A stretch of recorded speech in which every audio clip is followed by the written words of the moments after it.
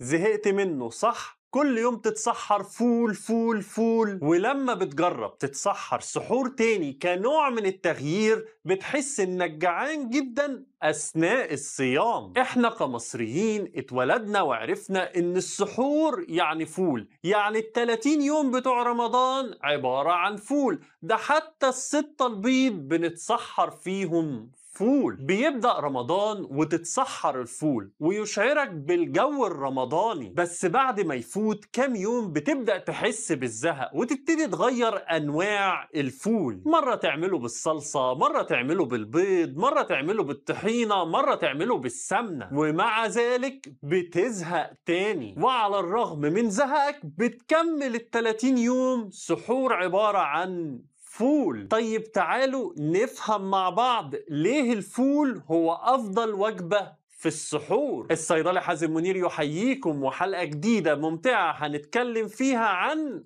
الفول. الفول هو أفضل وجبة في السحور لأنه هيشعرك بالشبع لأكبر وقت ممكن فهيساعدك على الصيام بدون جوع وده بسبب ثلاث أسرار بيتميز بيهم الفول. السر الأول إنه غني بالبروتينات النباتية. فطبق الفول بيحتوي تقريبا على 18 جرام بروتين والبروتين بياخد وقت في هضمه لذلك أنت بتشعر بالشبع. السر التاني إنه غني بالكربوهيدرات المعقدة. وركز معايا أنا بقول الكربوهيدرات المعقدة مش البسيطة لأن شتان الفارق بين الاتنين. تعالى كده أديك مثال عشان تفهم أكتر. لو أكلت مثلا طبق بسبوسة ولا طبق كنافة يعني كربوهيدرات بسيطة جسمك ومعدتك هيهضمهم ويمتصهم بسرعة. فالمعدة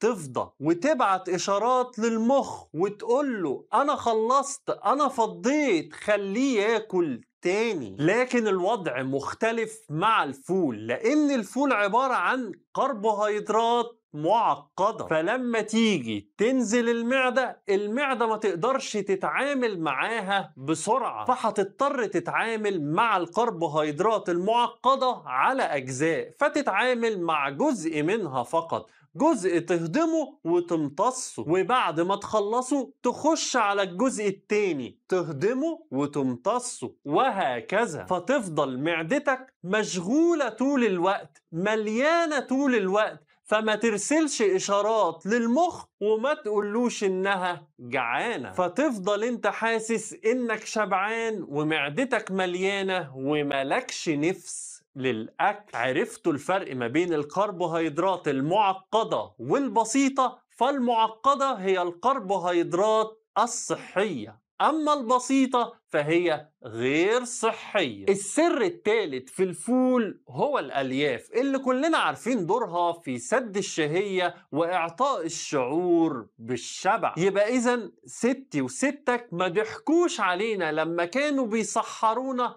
كل يوم فول. جايز ما كانوش عارفين السبب العلمي لكن حجتهم كانت أقوى لأنهم جربوا مفعوله بالفعل في سد الشهية والشعور بالشبع. بس استنى يا دكتور أنت عمال تتكلم عن الفول الفول وأنت ماسك علبة في إيدك عبارة عن فول معلب ومعروف إن الفول المعلب فول غير صحي. ده أنت بنفسك قلت لنا كده في حلقة ما لا تعرفه عن الفول. هقول لكم مظبوط لكن أحيانا عامل الوقت بيأثر على جودة أكلنا خصوصا إني في بلد ما فيهاش عم محمد بتاع الفول طازة وأنا ما عنديش وقت أعمل الفول بنفسي فبضطر أشتري الفول المعلب. بس يا دكتور أنت قلت لنا إن الفول المعلب بيرفع الضغط بسبب إنه بيحتوي على كمية عالية من الصوديوم وكمان المواد الحافظة اللي بيضيفوها فيه بتقلل من فوائده. هقول لكم برضو كلامكم مظبوط لذلك أنا بنصحكم بالفول الطازة مش المعلب. ولكن لو أنت زي حالاتي ما عندكش وقت أو مش متوفر فول طازة في البلد اللي أنت عايش فيها فهات المعلب بس اغسله قبل ما تاكله عشان تقلل من كمية الصوديوم اللي فيه وتقلل من المواد الحافظة. طبعا كلنا عارفين إن الفول لا يصلح للأشخاص اللي عندهم تفول يعني بيعانوا من أنيميا الفول. كمان الفول غير مفضل لو أنت بتعاني من الشقيقة أو الصداع النصفي لأن في بعض الدراسات بتقول إنه بيزود من هجمات الصداع النصفي.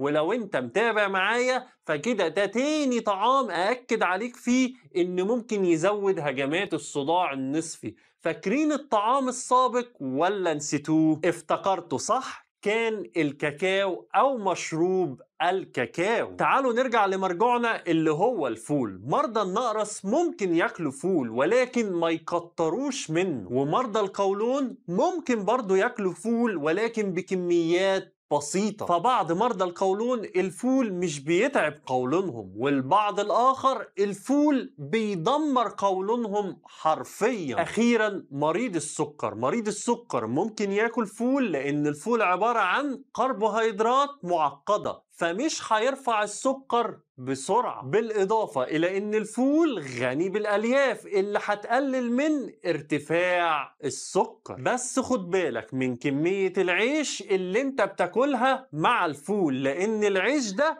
هو اللي هيرفع السكر وبشدة. وعزيزي المتابع لو عايز تعرف معلومات أكتر عن فوائد الفول فشوف حلقتنا اللي كانت بعنوان ما لا تعرفه عن الفول. واكتب لي بقى في التعليقات لو انت مش مصري إيه نوع السحور المفضل في بلدك؟ ما تنسوش تشاركوا الحلقة في كل مكان. كان معكم الصيدلي حازم منير. دمتم بخير ورمضان كريم.